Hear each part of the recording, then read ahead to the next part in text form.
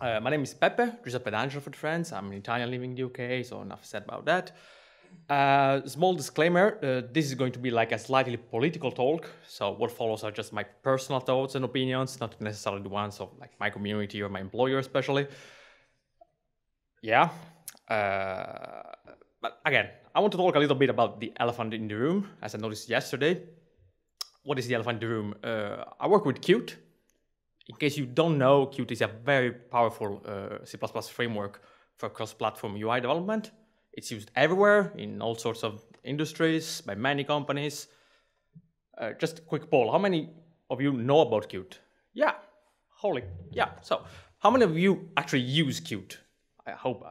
I'm said. Yeah, so good. Like we are in the two digits percentage, right? Uh, so here's something I noticed about the Qt community when it comes to reaching out to the C++ community, to the bigger one.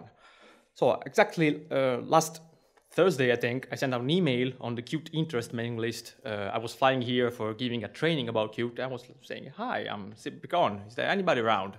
And the response from the Qt com for the Qt community was actually overwhelming. yeah. So exactly one reply uh, by Charlie. I don't know if he's around. Uh, hi.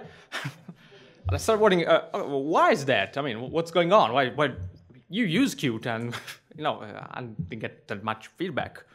So I started thinking perhaps it's about you know the contents of this conference. Uh, you know, there are that many talks and that many talks about Qt.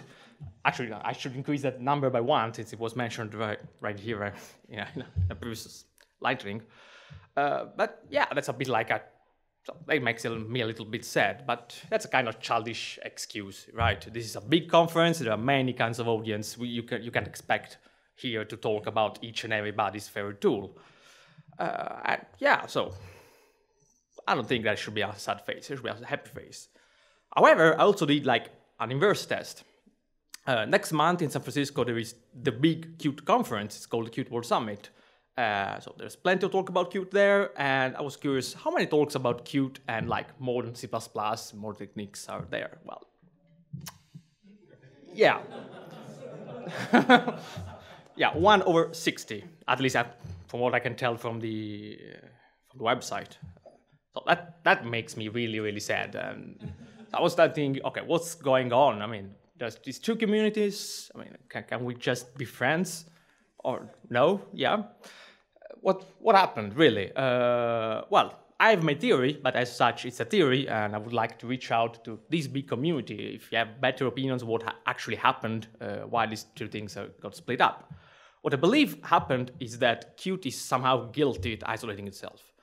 Uh, many years ago, uh, Qt has this enormous not invented here syndrome. It reinvented all over again instead of saying to people, uh, you know what, it's not the case that we reinvent shared pointers. Just use one from Boost, they're good enough, and now use one from C++ in Heaven, they're good enough.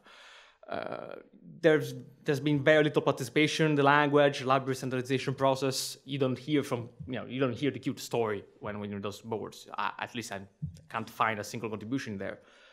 Possibly it's not evolving as fast as C++. That's why it's just guilty, between quotes. Uh, there's just a finite development bandwidth we can put in there, so we can't do as we can't go as fast as we could. But I know that if I go down this way, start listing things, I would be probably start pointing fingers and probably arguing with people about that. If something I learned at this conference is that if I start arguing, yeah, I'm losing. So let's let's not go there. Let's try to change the mental frame. Uh, let's try to change what happened. Like, what is the mental frame? What's what's wrong? Really, I can't figure it out. Really, I'm trying. Uh, are Qt developers afraid of modern C++? What's to be afraid of? Right, it's the best language ever uh, are just C++ developers using Qt ashamed about using Qt? Say, yeah, that's the thing we, my boss makes me use. I don't really want to use it. Or what? Oh, it's just UI application development just not that interesting. I don't believe so. Everybody's using an UI on your computer. I'm pretty sure that some of you are actually developing UIs with Qt, and you know, I think it is interesting. Uh, so yeah, I believe that this is actually hurting everybody. Uh, this is hurting the community of Qt developers, the community gets cut off from the bigger C++ community, and therefore they don't get over here, they don't give talks, and therefore Qt doesn't get enough visibility in, in the C++ community, and therefore people think, oh, well, look, Qt is not represented. Let's not go there. Let's not submit talks, and vice versa. You know, endless recursion, Stack Overflow.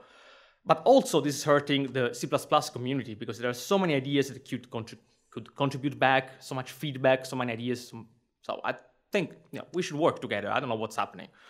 Uh, really, Qt is striving to be an open, inclusive, fair, and meritocratic community. Uh, how do we connect them back? Well, that I don't know. So uh, I would say that if you're lucky enough to find someone you can tolerate, you know, don't let go. Yeah, and yeah, please get in touch if you have any opinions, any idea. My name is Pepe. Thank you for having, having me here tonight.